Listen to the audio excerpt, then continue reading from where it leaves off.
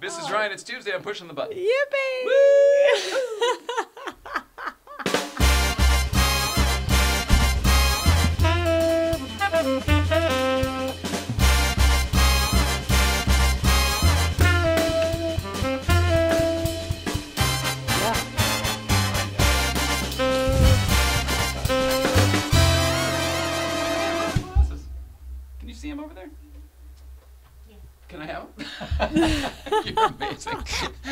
so much.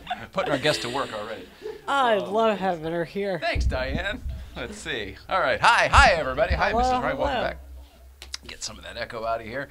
All right, we're back in the old late night playset. Welcome back, everybody at home. Tonight is Tuesday, December 10th, 2019. My name is Jay Ryan. This is Nicole Ryan. We are the Ryans. And tonight's guest on the show is a good friend of ours, Diane Cafferata. Uh, I don't know how far we go back. Four or five years is what I'm thinking from when we bought the yellow car and we met you almost immediately. Uh, at least far that bet we get to there's PCA time. There's were you in the Porsche Owners Club as well? Yep. So there's time there as well. All right. She's going to be in here in a little bit. We're going to talk about Porsches. We're going to talk about racing, all sorts of stuff. Actually, anything you want to talk about, and and nothing you don't. Oh, Mrs. Ryan, welcome back. How are you? You look so pretty. Saturdays and Sundays. Here it is, Tuesday. Thank you. I'm fine. Feeling the weekend still? Y- Yeah, I'm learning to rest differently. It's great. Well, that's there's a lot of stuff. We've we had a big full weekend, which a lot of people probably know about because we saw a lot of people. Um, but uh, people probably don't know that you went out on a limb and tried something new yesterday. You actually tried a new, different. I don't want to say doctor. Would you say doctor? A medical, a new thing, trying A something new, new. path of, of fixing me. A new path. Yeah. Uh, it's existing. It's normal, but it's not typical. It's not stereotypical. Um, it's a chiropractor that specializes in post concussion disorder, kind of, and that's where we align. Really, is that's what MS is. It's a bunch of symptoms of post concussive. There you go. You found somebody in the medical field ancillarily who does believe what you believe, which a lot of this stuff is trauma based and um, and, and drama based stuff Yeah. from, from childhood even, and Yeah. certainly maybe from your hockey days.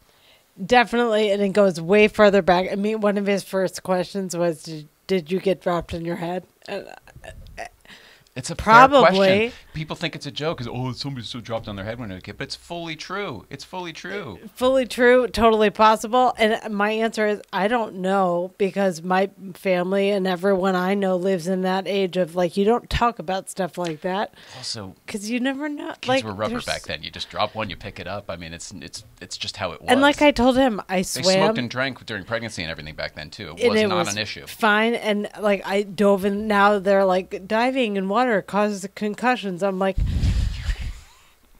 he he asked Diving, me about. swimming, and hockey. He's like, "Did you get dropped?" I'm like, "I don't know. I played hockey and I swam and I danced and fell on hard wood floors a lot. Like, I don't know where it comes from, but like I know that I helped. I'm not innocent in my body. Like I drank like a fish. I did not take care of myself for years. All that means is I can fix it. So now I know how to do that, and I found someone that can help me do that. awesome. It's great. Just it's Love a lot of different kinds of work, but it's good, and he but knows. shout out to Dr. Ben. Huge shout out to Dr. Ben.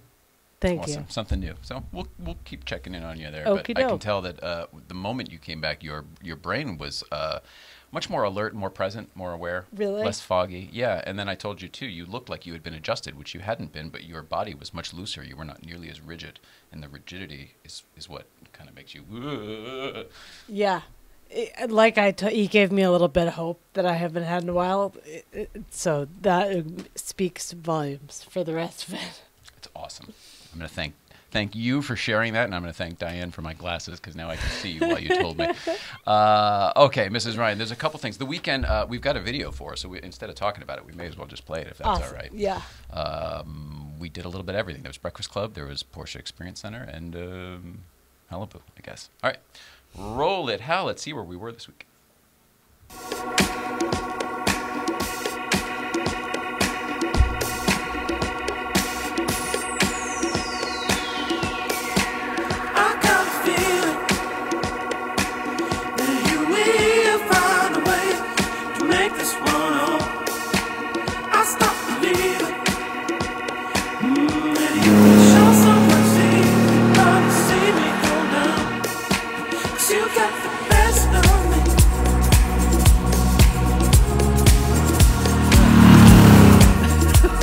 Toast my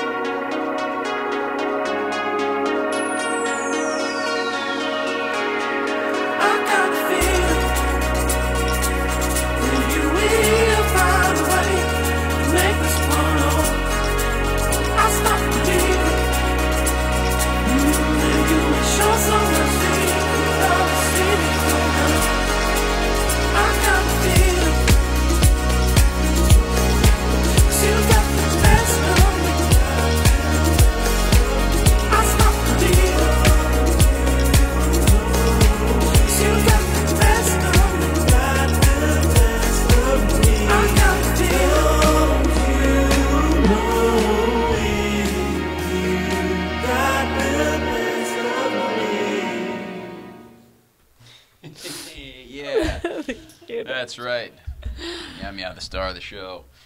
What's going on? Did you like it? That was awesome. It was a fun weekend. It was a busy, full recap. I noticed a couple things in there. There were a couple pictures that clearly were not from this weekend, but they were found uh, this weekend. One was you and Dax Shepard, because we talked about it on the show last week. He's one of the new hop, uh, new hosts of the new Top Gear USA, Top Gear America, whatever. Sure. Uh, and you used to work with him, of course. And then there was another one from Emmy Night, where you and Rob Corddry, the other new host of Top Gear America USA, uh, you had actually, uh, you guys had won an Emmy that night. That was the first Yeah. one, I believe. Not Yeah. the first one ever, first one for that show. First one for Children's Hospital. Yeah. It was great. And I just read news about the pro- one of the producers of that show today. Like, Oh, got cool. a Good deal. stuff. Like, yeah. awesome. like- that was that was really fun, and those were some good old days of when you used to we used to own the company, and you were really really working hardcore.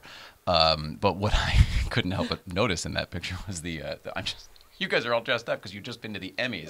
You have an Emmy with you. We're at the Biltmore downtown, like celebrating and everything in the Oak Bar, and you were like, "Come on down." I'm like, I was in a garage building a time machine with, it, with somebody, and I was like, "I'm really not dressed for it." You're like, "No, it doesn't matter. Come on down." Pretty pretty funny.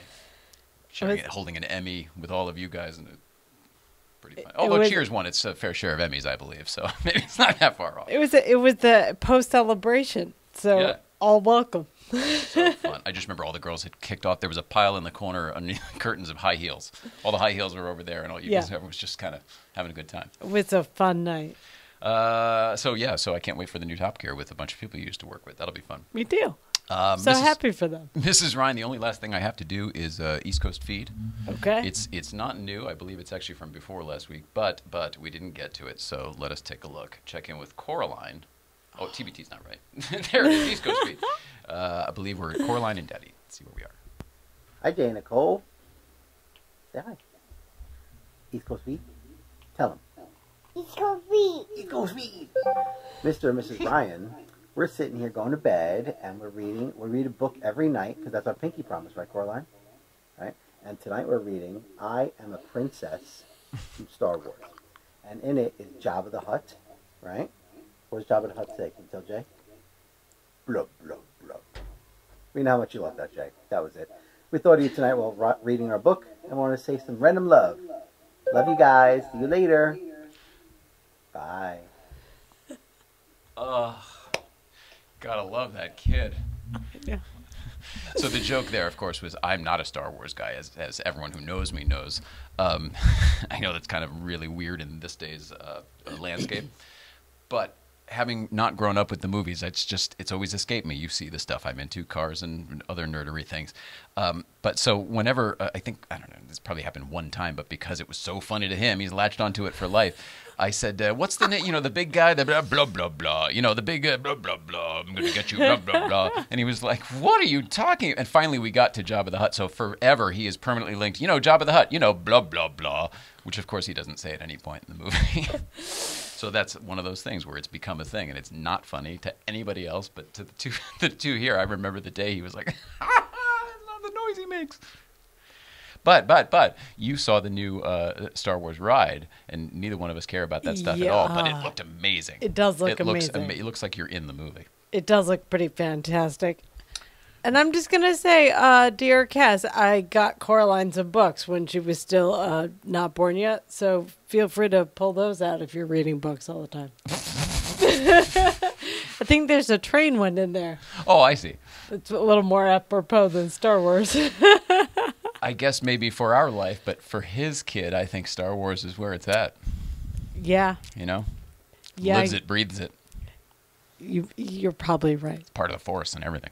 I'm a all princess. Right. I think that title was. I'm all in.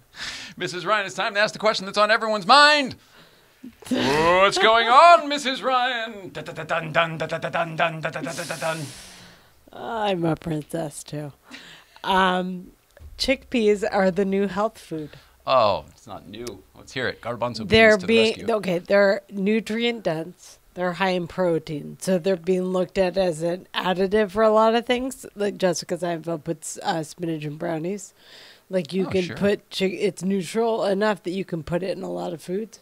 Agreed. So you uh, can get kind of yeah, whatever. You can get kind of a creamy paste out of it. yeah, you can use the the juices as a substitute for egg whites. I Wow, did not know that. yeah, so there's lots of uh, useful utilities for chickpeas. So I just grew up with them and love them. It's one of the few veggies I could just eat out of a can. Sounds gross, but you know what I mean. Like I don't mind. I don't mind them. It doesn't bother me. It's not like eating veggies to me. I used to eat them with uh, canned uh, mushrooms and uh, French dressing from the okay, salad bar in college. thing. That's It's a whole different thing. chickpeas are pretty good.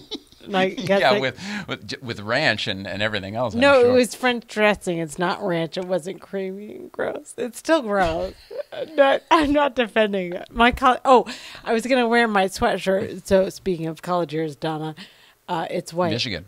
Yeah, uh, I love it, but it's white and it doesn't work on camera. Oh well, whatever you if you want, we, whatever. But I'm yeah, you're right. I wear it out a lot. It'll be in a lot of photos. But I told you I would wear it on the show, and I realized oh, this is the new one I- you just received? Yeah. Oh, that's nice. Yeah. it's it's warm as shit, but uh, and I love it. But I'm not gonna wear it on camera. But I'll say your name anyway. Thanks so much.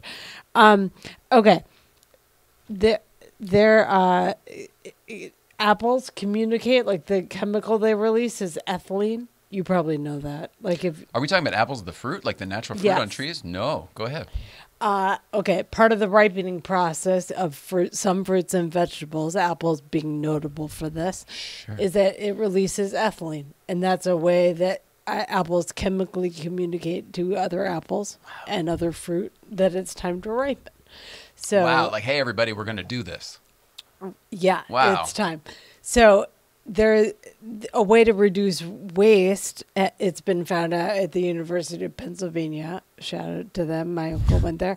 Um, is to monitor that process, and so they've created little ways to do that to monitor the ethylene uh, discharge. I guess Basically, we're uh, we're bugging the apples. the apple areas. Yeah. Yeah, we are.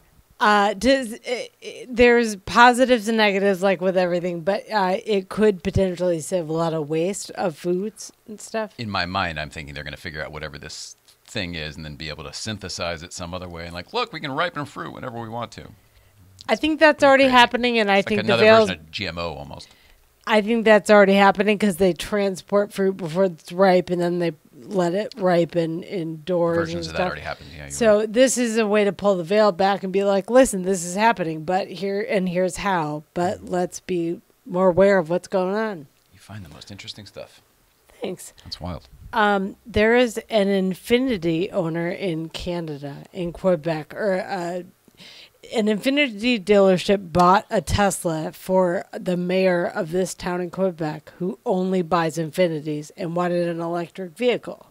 Okay. And this Infiniti deal- dealership was like, here's the next best thing. We're going to have a passenger EV in 2021. What we have is not optimal. But in the meantime, here's a Tesla. Wow, I don't even understand this at all. So, an Infinity dealership has a loyal customer in the town mayor, Mm-hmm. and the town mayor now doesn't want Infinitis anymore. He wants an EV, and Infiniti doesn't want one, but they want to keep him as a customer. So they say, "Let's just get you. We'll lease you a Tesla or something like that, and then you drive that until ours comes out." That makes sense to me. It kind of, yeah, that's to keep him as a customer, they're going to. I mean, I remember how many times. Remember when you turn in your Audi lease six months or a year early, and then Audi, BMW buys it out, and then I mean, somehow that money gets. You know what I mean? The- There's always workarounds for everything, and it all comes from somewhere. But Sure. this Infiniti dealer, That sounds like a, a hell of a customer service. Let alone just you know maybe it's because it's the mayor. I don't it's know. a great PR stunt. It's but it's actually like for this guy, they they love this mayor guy so much that they're like, we want to make sure you're taken care of, and we want it, whether that's us or another product. Here's the best that we can offer you until we have the best product that we think is available. Is he paying for it? I can't figure it out. Is it kickback? You know what I mean? Like is he? I don't know. I am That's focusing on the positive, and that That's does not include the financial sharing Fair enough. I'm going too deep. Um, lastly, speaking of sharing the wealth, there is a kid in Chicago that was found to be like walking a deer around in the morning, like walking with the deer in the snow and oh, just like hanging out with it before school. And what it what this kid was doing. That's what it appeared like to all the adults. Correct. Yeah, and so a lot of people, of course, stepped in to be like, "What do we do with this deer?" What blah blah. It's come to find out that this deer is actually blind, and this kid was like, "I just want this deer to be okay." It was like pointing out food sources to this deer. As I what I saw, he would lead the deer over to like the grassy patch of of. It was in the road sometimes, or just in the in the town in the street, not being able to really figure its way out. So this little kid was like, "Come on, buddy, like this way." Yeah, and wanted And then of course the deer would follow him, uh, according to the story I read. yeah. So and uh, that's what I read too, and Warmed like your heart. it little- warmed the little my heart. wanting to do good. and this kid just wanting no kickback, like no aware, like just like someone take care of this. Instagram or. No, he was like, someone take care of this deer. It needs to be taken care of. How old was the kid? Do you remember? 10 years old, I believe. I'm Like, not, I'm so. not worried about the children. Not, Not worried, worried about the kids. Not worried. And that's been what's going on, Mrs. Ryan.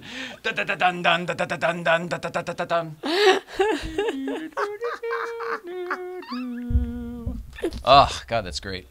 Diane, this is what we do. Hope you enjoyed it.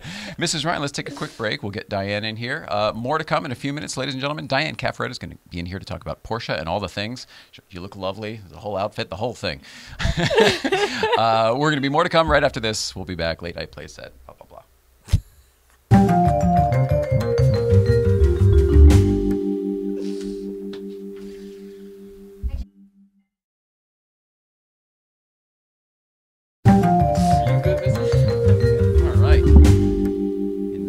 Let's bring it on back.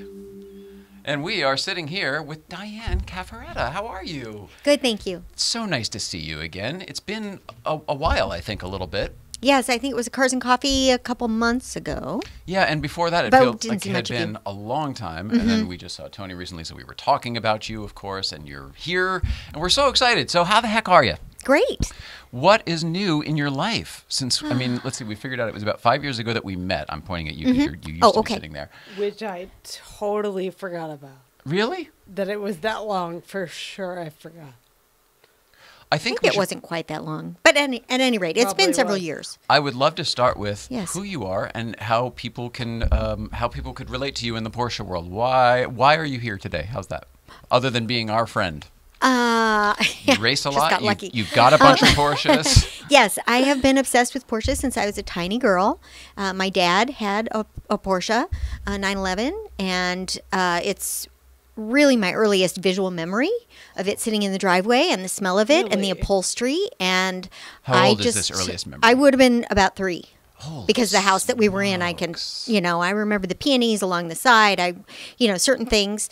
Um, and I always looked at that as sort of the measure of success that I would hopefully someday have a Porsche. And so, as a little girl, I was all about car. And you know, I I was daddy's girl, so uh, you know, I liked anything that he liked, and he liked cars. So here I am. That's amazing. So three years old, you fell in love with Porsche, not even really knowing what the hell it was. Right, but of course it's associated with the fun of it, you know, the driving it and the sound that it makes and and all those things. I mean, objectively, right? It's fabulous. But did you So, get all of that at three years old? I think I learned to appreciate it, but the It was in the, The it was feeling in the DNA is- that early. it's just totally different than getting in a Buick, you know, Yeah. which I love all cars, so I actually, you know, but it's a different thing. yeah. So Wow, that's amazing. So that early on, uh, did your dad have that Porsche throughout your life, or did he have other Porsches throughout? no, he actually switched to a Cutlass. Uh, because it, the doors wouldn't freeze shut in the winter, which was That's a wise choice. like a Buick. Yes, we grew up in, you know, I grew up in Chicago, and uh, then I don't know he, if I knew that about you. Yes, and then he had a 356 for a short time, which he sold In Chicago? uh, in Chicago. I mean, that's not the Oh. best car to drive. I guess in Chicago, right? well, With in the, winter summer, weathers? in the summer it would be, but yeah, most of the time not so much. all And three months of summer in Midwest. well, it's not just an old classic car. I mean, it's an old. It's a six volt. It's an old. There's a lot of uh, headache to go with it. right, Lot right, effort. Yes, and uh, then fast forward to 2004, I got my first Porsche, and So that uh, gap, that gap, yeah. you just loved Porsche, but you were working on yourself and your career I and everything else. Yeah, I was getting a bunch of graduate degrees and figuring out what I was going to do with my life. And yeah, car was not really. I had a Suzuki Samurai. I had Did you really? Yes, I almost had a killed him one of Camaro. I had a 1969 Delta 88, all of which Oh, I wow. loved, totally loved. These Uh, are all so- over the spectrum too. All These over are all the different spectrum. types. I, I truly love cars. I What love, does the Delta look like? I have no idea. It's 18 feet long and it will fit eight sorority girls. And in college, I had this thing. It w- had a huge engine and uh, it was just super fun. Where did you go to oh my college? gosh. Indiana Oh, University. okay. Fr- Yeah. So from Chicago to Indiana, so it's kind of the same neck of the woods, at least. Not Is too far, yeah. Still Midwest? Do they count that the Midwest? Oh, very much. Yes. Very Midwest. Are you a Midwestern girl? Yes. When did you move out to Los Angeles then? 90, uh, 2001. I moved out to California in uh, 93. Oh, okay. So that would have been a better that. question then. When did you move to California? 93. And then was that at school or? Right. So I went to, I had to think about the years. Well, I, you said you got a bunch of But yeah. degrees, so I'm thinking it's more than just Indiana. Yeah. So I went to Indiana, then I went to GW, George Washington University, and I got a master's degree in Russian and East European Studies. Probably don't know that. And then I switched and I went to Stanford. I went to Moscow for, whoops, sorry. That's Uh, okay. Moscow for a while in there. I studied at the Plekhanov Institute because I was a Sovietologist before I was a lawyer. You guys are looking really No, I'm fascinated by. Uh, I've always I known you were incredibly smart. up. I've always just talking to you for five minutes. I know you're very, very smart. Well, now hearing this, the, the, the background of, of what got you to the person that we talk to uh, when we see you is, is kind of fascinating to me. I'm sorry it took this long. That's okay. so, so, And so, so- a Sovietologist? Yes. Someone who So studies the back in the day, ways? we studied yeah Soviet ways exactly. So we studied the Kremlin and who was, you know, up on top of the Kremlin during the parades and what order they were in. It would show who had power and you know all that kind of analysis back in the, red- Cold War red, days. The red days, yeah. Yeah, and uh, so I uh, I thought I was going to be. Were you just interested in that, or I was because, very of, because of the political climate at the time? I was very interested because I was a linguist. So I had I studied Russian and I loved Russian. I'm quarter Ukrainian, so I had interest in that area. And once you start studying, you realize how fascinating it is, and just like really, they really that's how it works over there. And How so, many languages do you speak? We're jumping all around, but how many? I feel like it's more than just English and Russian. Uh, well, English right now. I'm pretty I'm pretty uh, rusty on all the others because I don't use them very much. Practice, But I studied a lot of French and German and Russian, and um, you know, at the time I was pretty good. That's French, German, Russian, England. That's four. Well, yeah. I mean, they're in there somewhere. I know that if I went there and I spent a lot of time, it would come back, but it's Mm-hmm. been a long time. I'm really pretty rusty. I'm getting more and more fascinated with you. I'm thinking that you should buy a boat and sell Dos Equis. the most interesting woman in the world. Uh, oh, okay, so so I, I didn't mean to get hung up on the the, the Sovietologist part, but It's that okay. It's, fascinating. it's to me. not the sort of thing that comes up all the time. No, and I've never met one. so Well, now now I'm excited have- to know one. yeah, yeah, okay, so after stuff. that, after spending some Um, time in Moscow, And then uh, yeah, so I we're I getting uh, back to California from Chicago, Indiana, Russia. Russia. via yeah via Washington D.C. Uh, so I got my MA. Oh, went GW to as well, went right. to the Plekhanov Institute. I was one of the first Americans to attend that institute, one of ten. And um, so that was amazing. That's I was there for four months, and it was still very communist.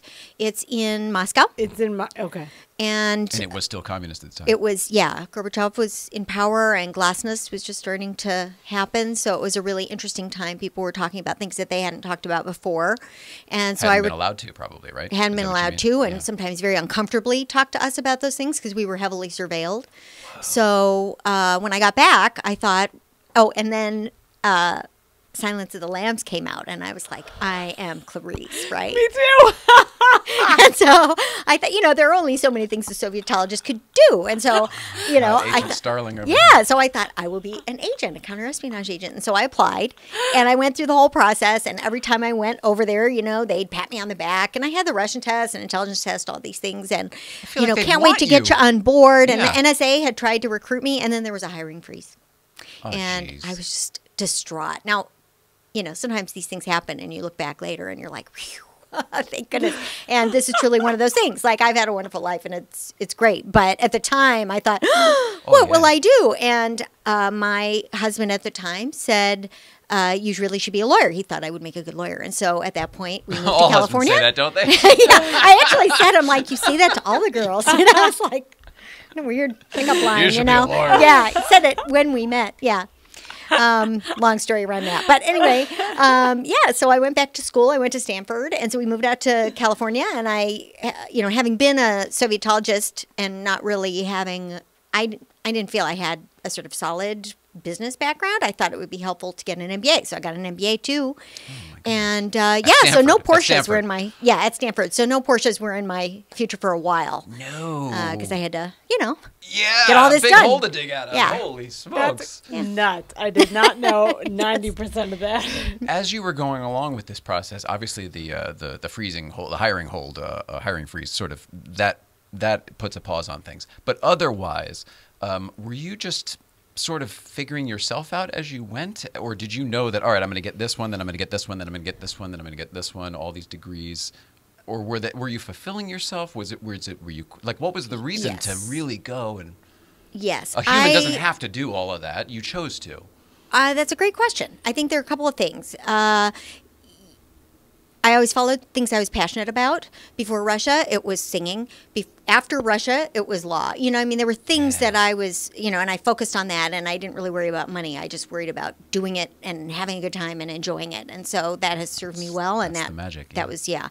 Um, so there was certainly that element of it, and um, During Yeah, that time, I- do you just know that the rest will come? As long as I focus on I didn't stuff, steer a lot. down. Yeah, I didn't steer a lot, and uh, and things just happened, and I had wonderful opportunities, and I made my own luck in some cases. You know, my dad taught me that, and so I would you know embrace things, and I'm I'm pretty resilient sort. So you know, if you put me in a big bucket of hardship, I can pretty much crawl my way out and wind up on top. And it may take a while, but But your um, attitude is that way. Your natural yeah, attitude I seems to can- be that way. I can handle pretty much whatever I need to. So, yeah. So it just kind of developed, and I, I wound up getting uh, a fabulous job. I I'm I've been a partner at Quinn Emanuel, which I don't know. Are you familiar with Quinn at all? well, only through you. Okay, so LinkedIn. Yeah, so Quinn is the world's largest all business litigation firm. And when I was getting my MBA at Stanford, I thought, what an amazing business model. You know, most law firms were kind of antiquated and they had antiquated structures, and communication wasn't so good between the top and the bottom of the hierarchy. And, you know, law is very hierarchical. And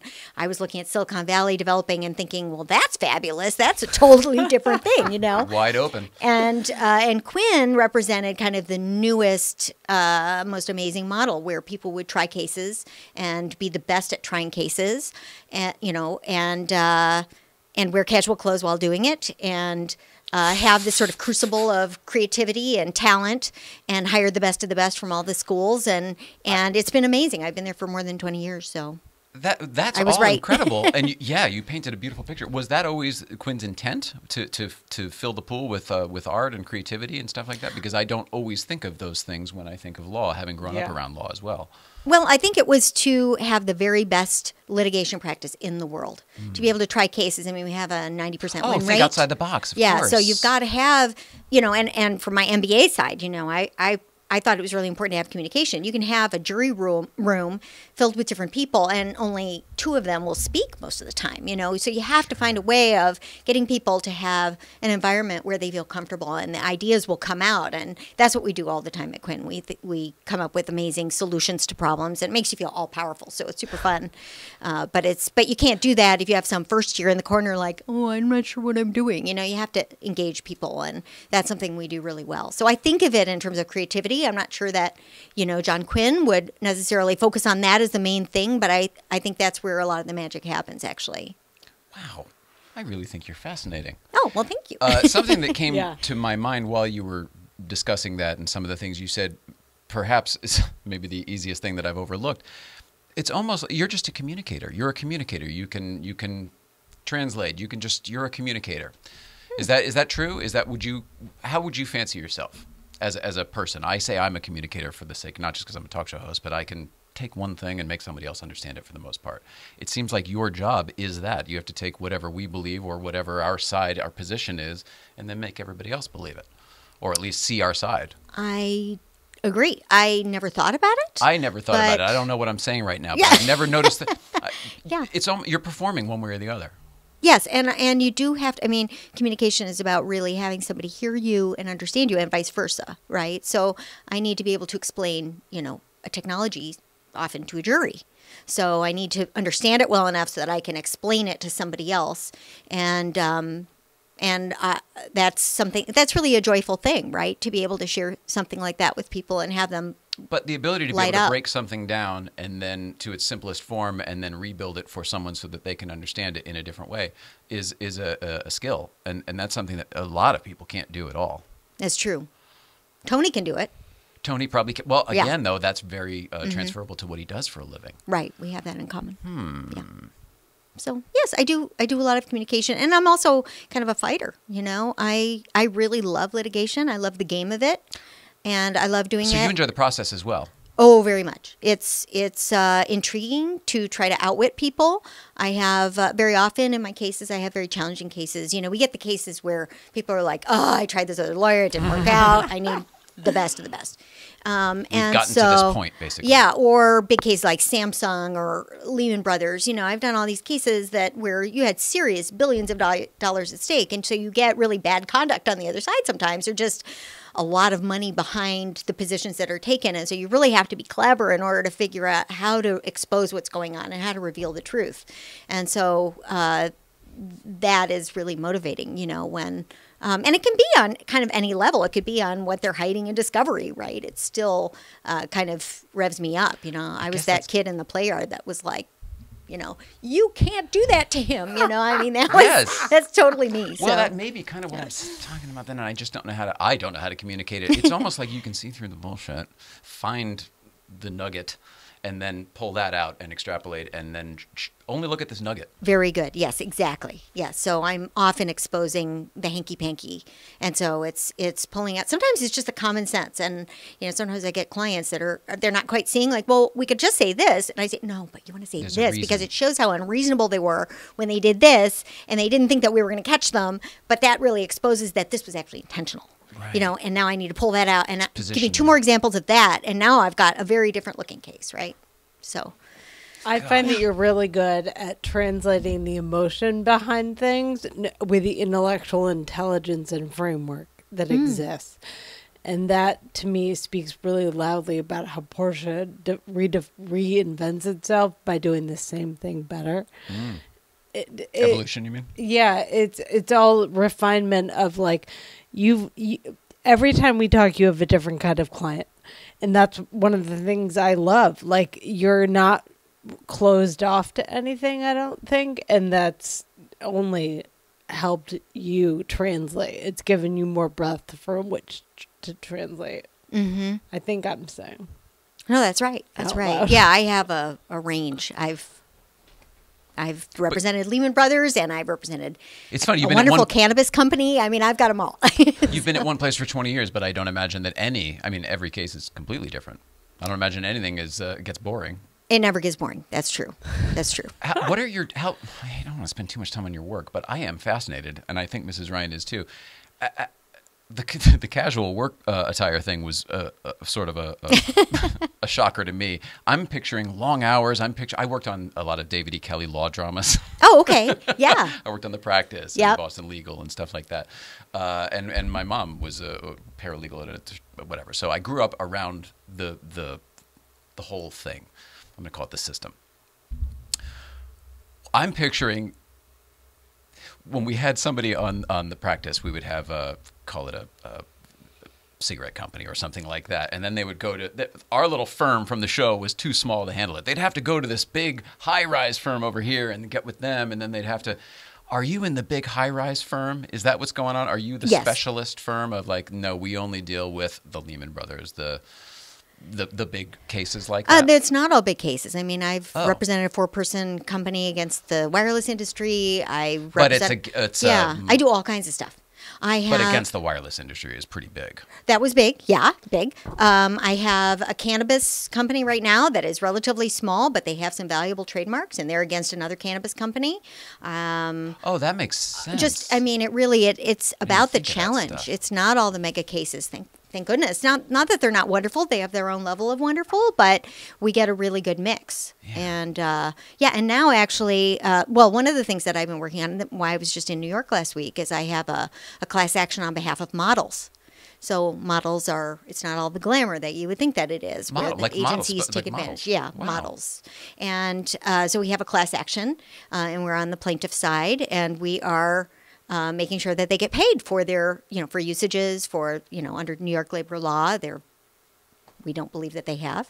Um, and then also, I've just recently become the co-chair of our new practice area, which is really exciting. Congratulations. Within your Thank company? you. Yes, within within our firm, it's the sexual harassment and employment discrimination group, and it is a Oh. plaintiff side, victim side, uh, Me Too practice essentially. So Well, this is very good. This is this is Um, very very timely right now. it's very timely. Yes. Very needed. Okay.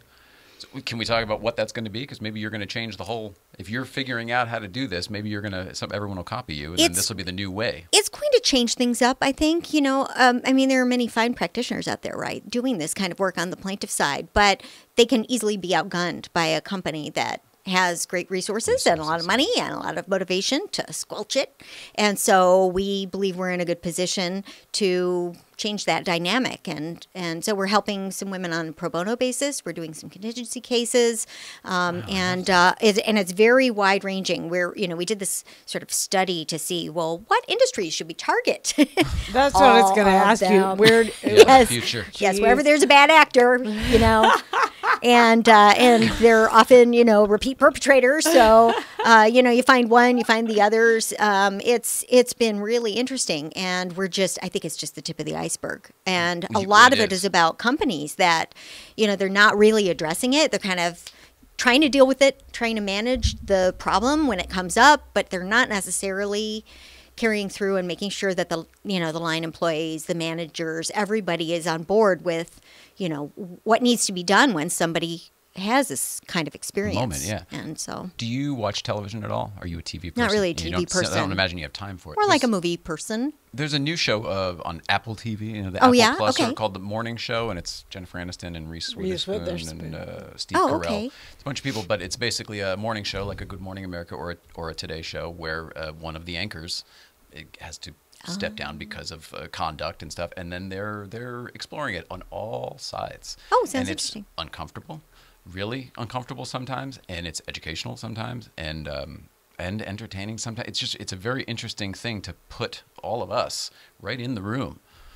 Um, and I would imagine that you have to deal with that, or you will be having to deal with that sort of stuff all the time. If you Mm-hmm. were a TV person, I was going to say, oh, you should check out Morning Show, but Well, maybe not. No, I will. I mean, I can always venture there. It's 10 hours, Yeah. though. You don't have 10 hours. I'm going to go back to the blue card. Yes. What what was your childhood like? You told us a little bit about it and how you found the cars and everything. Were Oh, yeah. you were you this type of go getter? Were you this type of? Uh, Uh, sort of. I uh, my mom taught me how to read when I was three, and uh, she was early, a, right? Three? Yeah, she was a teacher and uh, a, a wonderful. I had terrific parents, um, which which is I think. Yeah, I mean Huge that's help. why I'm here. I've got little pieces of all of them, uh, and uh, so so yeah. So I they my folks split up though when I was five, and I lived with my dad, and uh, but I saw my mom on the weekends and her new husband, who's my stepdad, and uh, then my dad remarried when I was ten, and um, yeah, I grew up in Evanston, Illinois, which is a wonderful place to grow up, and then my other family lived in Villa Park, so we saw them every other weekend, and But I mean, you. I mean, you Yeah. in school and stuff. You were always you're getting the good grades and doing Yeah. the AP classes and all that stuff. That seems like yeah, the but not not necessarily all of them. You know, like I I did uh, an advanced chemistry and physics and dropped out. I mean, I was just like, I can't do that. This is not me. I can't do it, or I no was- interest. Uh, kind of when we got to moles, I was like, what? I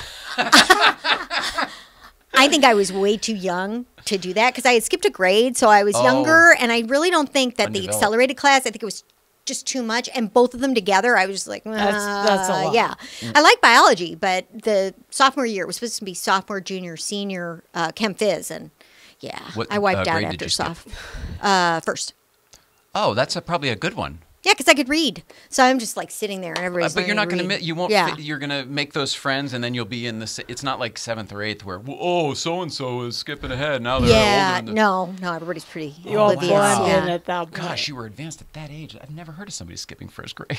Well, I I asked, you know, if something could be done. I was bored, and Come on, you facilitated it? yeah, and you know, my dad was supportive, but you know, the teacher was against it, as I recall. But the principal was like, "She can do this." So, luckily, it was just none, and she was just like, "I I think this would be fine," you know, and so she pushed it through, and it was great because I could read, and I Yeah. was, you know, it, it worked out fine. You probably were much more stimulated with uh, slightly older children, yeah, or at least a slightly older until curriculum. Chem Phys, yeah.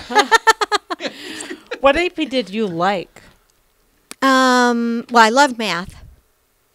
Okay. Does that come into play for you nowadays? No, Yeah. not so much. But I love math. I'm really yeah. It's probably my best subject. Really? Really? I, language, I would have assumed. I would just assume. Yeah. No, I think even more. Um, I mean, math. I could I could skip the entire class and then learn it in a weekend and go in and get an A in the You test. got the I'm language. just good it at made sense. Yeah. I yeah. But language, you'd ha- you know you can't do that. So yeah, I think of math as Universal, universal subject. language is mathematics. I mean, that may translate to how smart you are. Maybe you're an alien from, you know, who knows how many. I don't know where it comes from. I think my parents would be like, I don't know either. Um, but yeah, so so yeah, in terms of where I came from and sort of my pieces, I think I would say, you know, my mom and dad. So my stepmom and my dad were both advertising executives, and my mother wound up the CEO of Young Whoa. Rubicam Chicago. And I think that's kind of important in my development because I saw her working her way up from secretary to becoming the CEO of a company, Strong and woman. yeah, and um, and my dad was a creative, so uh, very neat, dynamic, you know, very creative kind of background. What did your dad And, do in, um, in the advertising in a creative way? Uh, okay, you know the Corona ads with the palm trees and the one lights up. Sure. That's his ad. No kidding. Yes, everybody knows that Yeah, ad. of course. It's been like thirty years. Yeah, yeah, a lot of Corona. Um, also, the Helping Hand for helping. But uh, what did Hamburger he Helper. do? What did he do? Was he the creative director behind these, or was he? A, oh my goodness gracious! Yeah, so the helping hand Truly for his yeah campaign. for Hamburger Help. That's his The little guy. trade character. Yeah, and a good part of McDonald Land was created by him. McDonald Land.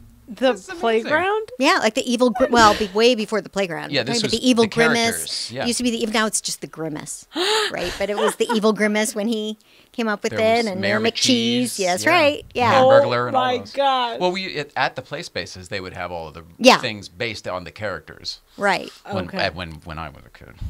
Right. Right. when I was a boy.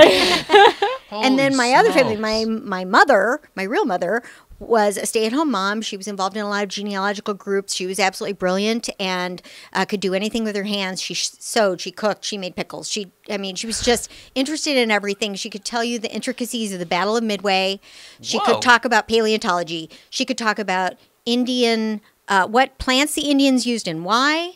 Um, and my stepdad also was into a lot of that stuff. He's an engineer, amazing person. And so I had this just phenomenal group of adults, which even though my family kind of you know, erupted and fell apart at five. I then watched these two wonderful relationships as I grew up, and and uh, this very vibrant set of people uh, that uh, could sort of tackle anything. And so uh, that that's kind of where I really came from. And then I also have a wonderful aunt who who came in the middle of all this, and you know, was trying to make sure you know there was somebody at home uh, in between, you know, because my before my stepmom came into the picture, she was around, and she's an artist, and so just another amazing person. So I really got lucky. I can't on, believe uh, how much art and creativity you were people. around, and then you are a, a, a, an, an attorney.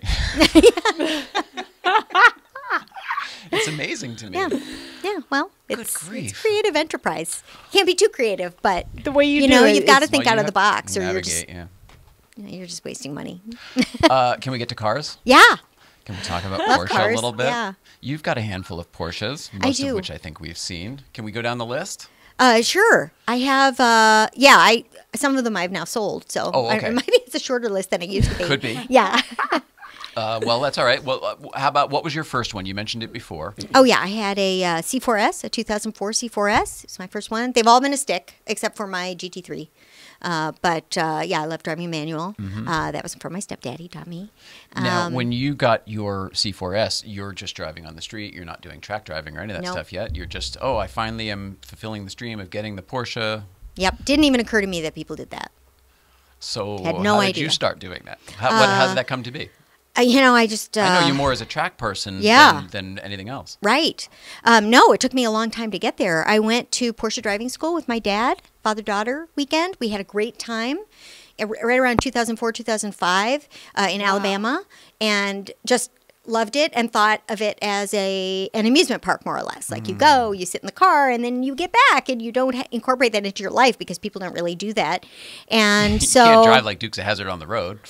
Unfortunately, not. And so I just kind of put it down. And I was also a super workaholic for many, many years. I just really, Now that sounds right. yeah, I'm a very intense sort, and I can sit for long periods of time and do even really tedious things and be perfectly happy. And yeah, and I had a not so great relationship for a couple decades. So I think staying at work was a It's a good, good move. And yeah, maybe crutch. I did didn't that. help me figure that out fast enough, but Right. that's okay. That's life. And so, and I was doing all these crazy cases, right? I was doing, yeah, Samsung, Mattel, you know, amazing clients. And um, so, yeah, so I was doing that. And then at 42, I had breast cancer. I Oh. was diagnosed with uh, breast cancer, and it was a super fast growing. One of the breast cancer specialists that I went to said it was the fastest one he'd ever seen in 30 years. I was like, Congratulations. Well, Yeah, no, I know, it was no like, surprise I'm an with you. overachiever. Such an Overachiever. achiever. uh, but I, you know, I was in the middle of trial in the Mattel case, and I was sitting with all my experts, and we were talking. This won't and, work. Yeah, and I was like, I need to leave now. I got the diagnosis, and I needed surgery right away, and so they pulled it out, and I went through chemo and radiation, and what began was a. a where am I in this world? You know, I had sort of assumed that I was invincible and pretty much am, you know. Uh, but that was a real attention getter, and I think it was meant by the universe to be a bit of an attention getter. 100%, We couldn't do that on a small scale and have me actually listen. No. And so knock you on your ass. Yeah, so Yep. for about 5 years after that, I learned how to manage and you know, create some balance and create some hobbies. And one of the things that came out of that was the cars. I went back to, car- you know, what do I really like to do? If I had to check out in two years, what would I have wanted to do? And it would be drive my car on the track, you know. There's a So, there's yeah. a reason we connect. Having never known that story, there's obviously a reason that we connected, and and you know that was the same Yeah. thing that happened Mm-hmm. to us when we met you. Our life just totally went in the toilet. yeah. Thanks a lot. Yeah, but you have to take these lessons, right? They're Exactly. lessons, and what do I do with this? You know, Right. and so And uh, yeah, And be sometimes you be can't willing see to it for a while. Be Yeah. willing to change. Be willing to throw it all out. So back Right. to you, though. Yes. Back to you. No, Yes. no, no. I oh, keep going. Oh, back to me. Okay, so I had the C4S and I loved it, and then I got a turbo. Uh, it was uh, Arctic Silver, Okay. and it was a Was that just an 2008. upgrade? Just uh, it was an upgrade, yeah. Um, and uh, yeah, it was a great car. But then I wanted phone connectivity. That's right. so I had to buy a whole new car. Gotta work, it. yeah. So I had basically the same. I had a 997 Generation One turbo, and I got a 997 two turbo so that I could actually speak on the phone through the car because Porsche, as we all know, isn't real big on those niceties, and so that's what I drive today. It is my forever car. I call it forever because I will drive it as long as I can push in the clutch, and it's black on black, and it's beautiful and voluptuous, and uh, it's sex on wheels. I mean, it's just beautiful. love that think you've seen daily- it. Yeah, oh, many times. and it's Yeah, my daily love that driver. yeah, daily. it makes me feel super powerful. It's like I want to be over there, and I'm there. You know, and And how about when uh, you get out of yeah. it? I mean, you know, you get you get surprise looks, you get uh huh, that's right looks. I mean, there's all that stuff, and even when though you're doing clean, it for you, when it's clean, I get people because it's They really at it, beautiful. right? Yeah. if it's dirty, people just don't. They don't even know what it is. They're like, oh, it's one of those Porsches. you know, they're all over LA. But yeah, I notice it when it's clean. I get the oh, you know. Uh, but talk about looks. When I come into the parking lot every night and I see that, I still I still get excited. you do still. Yeah. we do the same thing. Yeah, it's just. I mean, how lucky am I to have this? It's something about you know always turn around, always turn back and look or whatever. Like it's Yeah. Mm-hmm. a, you know your lover or whatever, just passing. Uh, okay, well that's that's one turbo, but you had Yeah. the GT3. Do you still have the So I GT3? had, uh, yeah, so two, yeah, two, two turbos, and then I got the GT3 uh, for track because I thought that was a good idea, and I didn't really have a But lot of good you advice. so you had the turbo and you started doing track days, and you decided to get a track I car. yes, I started with the black turbo, Mm-hmm. and uh, I actually started with autocross. Oh sure. Uh, and I wasn't quite sure how to get on the track yet uh, uh, because it seemed like you, there were a lot of requirements. I wasn't sure that my car was, you know, like I had all of It them. seemed and, like it at first, Yeah, yeah. and my husband was insistent that I have insurance um, and all these sort of requirements. So I had to go with the flow at the time. Um, and he was generally not really in favor. He didn't understand why anybody would want to go in circles fast. And I'm like, okay, well, we just don't understand each other on this, you know. But he did encourage me to get the GT3. Um, for whatever reason. And um, so I had that. It was beautiful. It was white. Uh, and it was uh, 2015. So it was after the fires. And uh, it was a fabulous car. It Oh, again made car me fi- yeah. completely uh, powerful. And uh, I had a great time with it at Festival of Speed. You know, I, Did you like switch out cars or did you have multiple Porsches? I, I switched them out until the GT3, and then I had the GT3 and the turbo. And I retired the turbo from track stuff because I didn't want to ruin it. That That's truly right. is the forever car. Got to have that, you know, in 20 So you still have years. that? Yeah, Okay. yeah, And, okay. yeah. That's oh, I was going to say it's here. parked up front, but it's not. It's actually, I borrowed one. But the but the white one is not. You don't have the white. Um, So I GT3 sold anymore. the I will yeah I sold the GT3. It lost its engine at sixteen thousand miles. Oh. and they replaced the engine. They gave me a new one. And at the time, I had a couple of different things going on. I was going through a, a difficult divorce litigation, and so cash was a good thing. Sure. And I thought this is a really good time to sell it because it was a brand new engine. It's like giving somebody a brand new car. Yeah. And uh, and then also I uh, met Tony. Um, well, I knew him when I started with the track stuff, but, uh, but just as friends, you know. And he, when I was buying the GT3, he said, you know, you really need to buy something slow. You know, you should be in a Honda or Miata or something. I was like, what? And um, and so, To- but I was in the process of buying to really learn how to drive. yeah. And you know, as you know, that's really Miata's a important. That's why all these call, yeah. and why these pro drivers all start with go karts is you have to feel the car and you have to understand what's going on. You have to understand the physics and, and all that. So, uh, but I was in the middle of buying the GT3 and I, you know, I was smitten. Of course, who wouldn't be? Yeah. And so, oh yeah. yeah, Especially then when it was new. I mean, holy cow. it was, yeah, it was hot, hot, hot. And uh, so yeah, so I so I wound up selling it to a girlfriend who also tracks her car, so I see it all the time. Oh, and lovely. It's still in the family. Yeah, it's still in the family, and she's another petite woman. So and her That's husband had a awesome. GT3, so she knew what she was getting into. Oh, that's amazing. Same year and everything, so we see them all the time, and that's really cool. And then I got a Boxster, so I have a Oh, that's a, great race car. it's a fantastic car, and it took me a long time to appreciate it because it's mid-engine, which is like a I'm fish with- out of water. I'm with you. Felt totally different. Um, but once and you get to it's- pedal down and spin that thing around, it, it they rotate pretty well. it's well. a lot of fun. Yeah. it's a lot of fun. And now we're one. The last couple times I've and this is now like three years. It took me a long time because I have To all of used to it? this. Yeah, I have all this, you know, seat time. I mean, every day since 2004. That's what I've been driving as a 911, so I could feel the pendulum. Yeah, and you don't have that at all. It's totally different. We were just talking about that Yeah. the other day. Yeah. So, uh, and it's a 2.5. So it's every bit as slow as my others are fast. Yeah, but that's so, what you want. Yeah, And you it can is. drill on it. It's a It momentum is, and then. I catch up with the faster cars, and it's all that much more fun, right? Because now I know I'm actually learning, and every time I go out in it, I learn more. Oh God, isn't that the most So- fun? When you're in a slow, stupid car and you're catching up on all these people Mm-hmm. with so much money behind the wheel and everything else. It's just, I love it. I love it. and I'm, you know, I'm on the gas right away, and you know, they're they're just sitting in front of me. It's like you're in my way. Yeah, you're in just my get out of the way. way. I'm Get like out of the way. two point five. Yes, it's, like- it's hilarious, but Oh my gosh. Um, do you? So I'm I'm assuming then uh, because of the track time, if you could pick between the two, probably Porsche Owners Club is where you would spend more time. Is I that- have been spending more time with the Yeah. POC. I love the PCA. Also. I've you know I've done many many events with both clubs, but the I find yeah. myself doing more of the POC stuff. It's a little bit more flexible in terms of the requirements for the racing. It's less uh, bureaucratic because it's just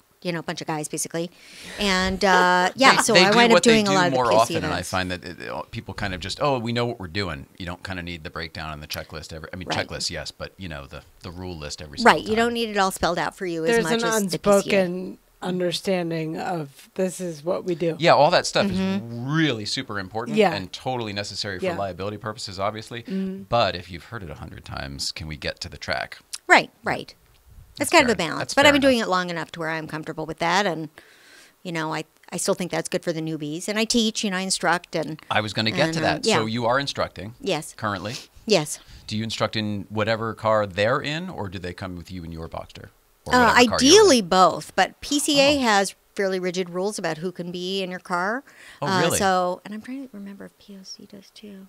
I don't think POC does, but I if I have a Hans device and a and a you know a six point seatbelt, which I do, six, five point Five-point seatbelt, harness, yeah. five point harness, then the other person next to me also has to have that. And so if they don't have a Hans device, they can't sit in my car. Oh, that's weird. Which I don't quite understand. I was like, could I take off my Hans device and now we're even? And but they can't do it, so that makes it a little tricky. So often I'm just in their car. Okay. And I will drive their car unless it's something really tricky that I just don't want to. You know, like I had, I was teaching somebody in um, one of the doctor killers. I'm forgetting what the number is right now, but um, I was like, and it was it was a woman and she was new, and I was like. This is a very dangerous car, and we need to be respectful of all the power it has. But I didn't drive Oh, that one because I was like, I don't want to be responsible for this. Oh. She did great too. She was really respectful and understanding of the weight, and you know, we talked about these things, and I kind of got her used to the idea. So Was that thanks to your instruction that she did great?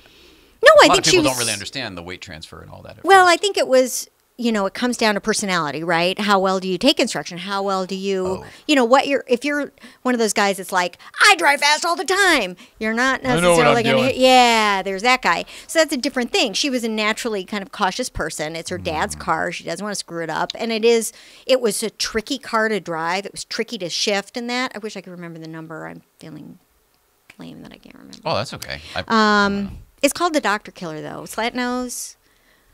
the doctor killer. Anyway, um, I didn't tell I mean, her there that is it was Slant called that. I didn't mention that nickname, but um, yes, incredibly fast car. But she handled it very well because she had to be thinking about how to shift and stuff. So I think there was, you know, a it tempered her enthusiasm for sort of going all out too. But you know, There's a presence that it sounds like comes with that respect that she has for it. So Mm-hmm. maybe that helps. That's it. You're incredibly present all the time. That's one thing I've always known about you. When you when some people you look them in the eye and they're there. Oh.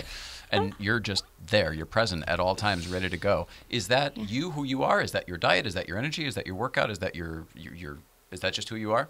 uh, maybe it's my Midwestern upbringing. I I, I don't know. It's a huge I'm- compliment, especially in Los Angeles, where a lot of people Yeah, it's hard to make a connection with. I don't like those people.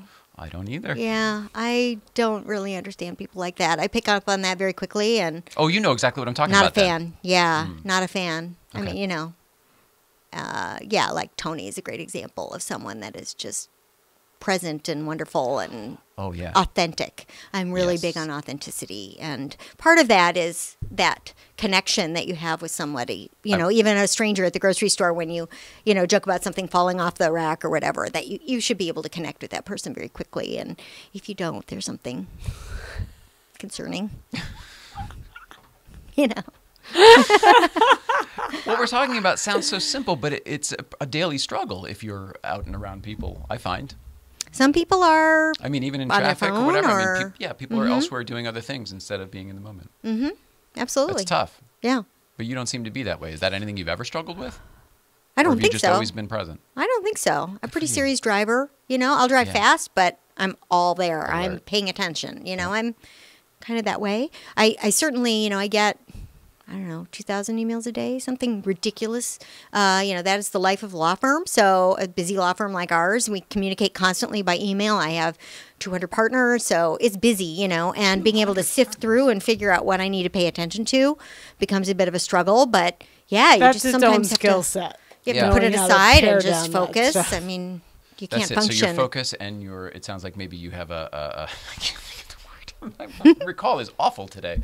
Too long of a weekend. Uh, uh, um, uh, whatever. It doesn't matter. Okay. You're amazing and awesome. Oh, well, uh, back you. to the card.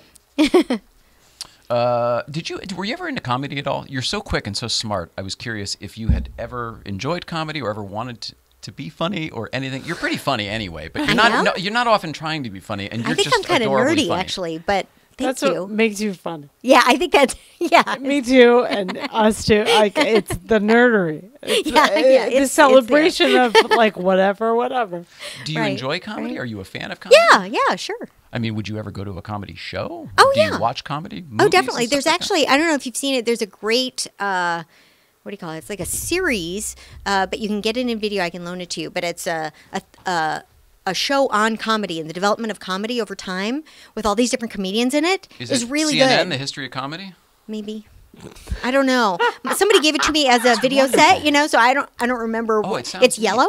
The boxes are yellow. Well, I love anyway, that. it's really interesting because it talks about the importance of satire and the importance about being able to laugh at yourself and all these things, which you know not everybody gets. It's incredibly important. It was unintentional to lead to this, but Yeah. you're the perfect person to ask. I find that comedy is uh, the t- the landscape of the world is making comedy less funny because there's not Mm-hmm. there's less places you can go. Everyone's very uh, everything's being taken more personally. Right. perhaps for good reason. Mm-hmm. Um, I find that comedy is, I shouldn't say I find. I have a prediction. I have a, I have a, uh, I think comedy is going to have to go a little bit more underground, and I think that um, the topography is changing because of what we were talking about before and the Me Too movement and everything else. And I don't mean just guys. I mean like, oh, you can't really make a joke anymore. Do you? Do you? Would that? Hmm, it's almost like I should have this conversation with you in a year. I'm, I'm a little ahead of myself. No, I, I see that, and I I have concern about our you know lack of saying? sense of humor. I think a lot of people like that gene is just missing in them, and you know they get upset. I, sometimes I hear news stories, and someone has their panties in the in a twist over something that makes zero sense, Mm. and I'm just like, dude, step back. like that is not something to be mad at, but yet they're mad. So there's something else going on. Um, that has caused some people to lose their sense of humor. But I think we need to retain it, and I think we do need to criticize. And I lived in the Soviet Union, so I know what it's like when nobody can criticize anybody. That's it's why a I'm- Mm. really dangerous world. And so, as an ex-Sovietologist, I just find that incredibly troubling, and I think I think we all need to step. And sometimes people will say, "Oh, I'm not sure I should say this because you're now this Me Too person," and I'm like, "No, that's hilarious, right?" because you can't, you can't lose your common sense. But some people have just I don't know whether they don't have enough in their lives or they're just they need that drama. I think there's there's a lot of I know some on. people that are like that that Yeah. feed on drama all the time. And if you're doing that, then you need to get all crazy about something random. And I just my life's too busy for that. That's it. So I I, I think there are enough brave busy. people out there. Hmm. I think I think we brave souls have to sometimes step back and say, uh, "Wait a minute, that's actually really funny. Think about it this way." And It's you know, and it's about it's about who are you, right? Are you going to always go with the? You know, I, sometimes I think of like, who would I be in Nazi Germany, right? Would I step up? Would I hide people in my basement? Would I Yeah. say something? We don't know. We haven't walked in those shoes, but I would like to think that in a world where we can't talk about anything and it's feeling more and more Orwellian to me every day, that at least I'm the voice of, hey, rule of law is really good, individual rights, freedom of speech, you know, that that I you know, I try to be a champion for that in my own little way. And so and part of that is saying, No, that is funny. You know. Right. Standing up for it. Yeah, I'm not going to be somebody who is uh, you know, oh, can't say that, you know. Right. You're not going to stifle me and run me down. Right.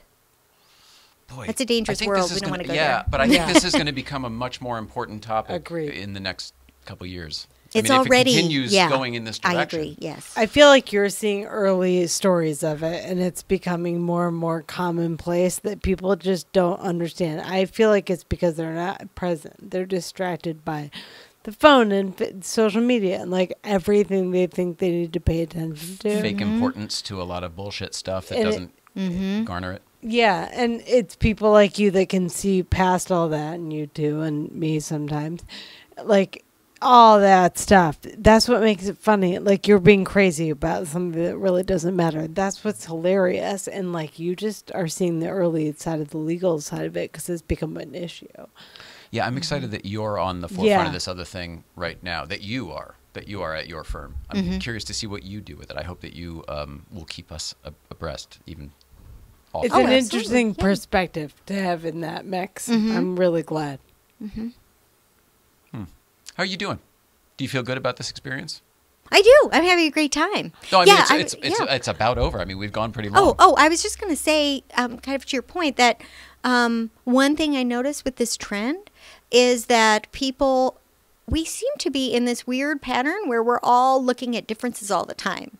And we have so much in common, all the time. so much more in common, in fact, that it's mystifying to me why that one little thing is the focus and and then we lose sight of all the rest and so i hope that we start to i i do see people starting to react because it, once it gets so crazy and this is something we see in litigation all the time and i i take some solace from that is when people get really really really unreasonable then people start pushing back and so it will swing but it just takes a long time and and that's one thing i'd like to see more of because we truly have you know so much in common as americans and and uh Fully agree with you. Yep. we, There's we just nothing don't to be to fighting quit. about. We should be pulling together for goodness sake. right Uh, especially in, in the times.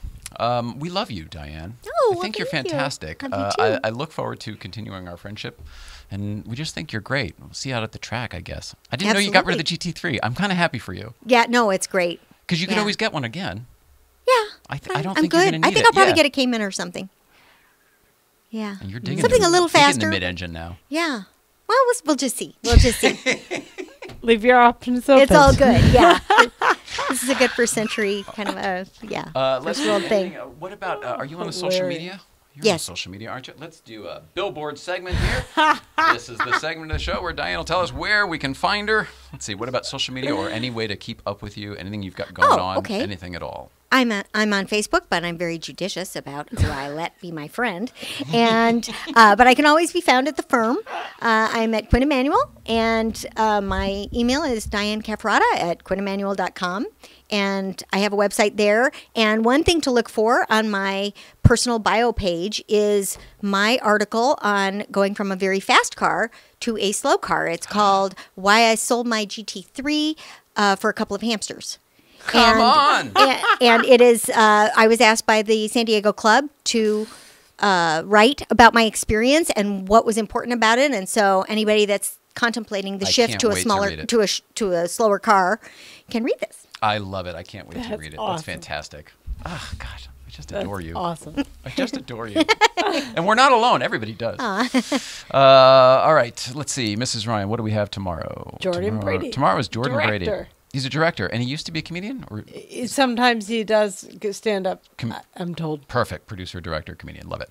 Uh, and then Thursday, we've got Martina Kwan, another Yeah. female race car driver. as well. Oh, you probably know Martina. Martina, right? Yeah, of course. Awesome. Oh, Love that'll it. be fun. Yeah. Mrs. Ryan, I love you so very much. Diane, we love you so very much. Thank you so much for being here. Love you Thank so you. much. We That love was fun. everybody at home. Please love one another, and we will see you all tomorrow with uh, Jordan Brady. see you then.